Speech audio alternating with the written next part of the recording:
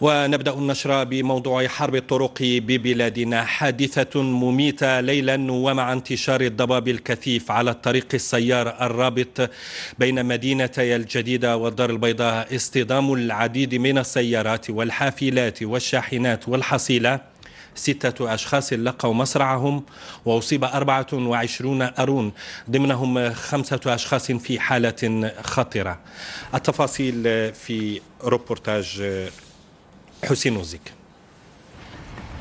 التاسعة ليلا من يوم أمس بالطريق السيار بين الدار البيضاء والجديدة وبالضبط بالمحاذاة من مدخل البير جديد هذا كل ما تبقى من السيارات التي كانت تقل أربعة أفراد من أسرة واحدة. الحادث خلف إلى حدود الساعة. مصرع ستة أشخاص بعد اصطدام عنيف بين العديد من السيارات الخفيفة وست شاحنات وحافلتين. وأنا ما عرفتش كيفاش وقع أنا وقعت كنسمع باق باق باق ما عرفتش شنو وقع. عرفتي الضبابة. الضبابة ما كتشوفش اللي حداك الضبابة ما زادين مشهورين حنا كاع أكيد ضبابه حقيقة كانت ضبابه والضبابه تمشي بشويه عليك. هذا هو اللي معروف. الكار كان غادي ملانسي كبير. أنا قلت الشوك كاع تعجنات كاع ثلاثة طومات تعجنوا بطاقه واحدة والسبب عاوتاني قلت كاميو خرج للجهة الأخرى من لوتر كوتي والناس اللي تيجي بالسرعة تيتلاقاو من جهه أخرى من من من جايين من جديده غاديين للدار البيضاء. sens inverse.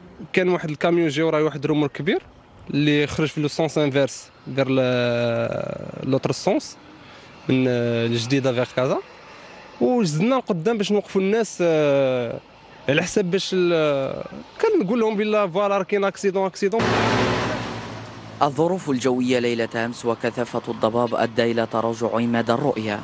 سائق الشاحنة التي تحمل هذا الصندوق الحديدي يروي تفاصيل الحادث. ما كان كيبان لي والو تا بان لي داك الضوء قريب الضبابه كاينة بزاف.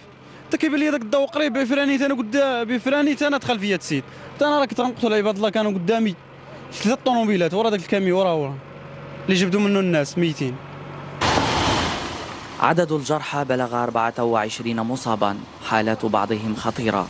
تم نقلهم إلى المستشفى بمدينة الجديدة. لينضاف هذا الحادث المميت إلى حوادث أخرى قاتلة يستمر معها نزيف الطرقات ببلادنا. نزيف لم تنفع معه مختلف حملات الإدراك والتوعية.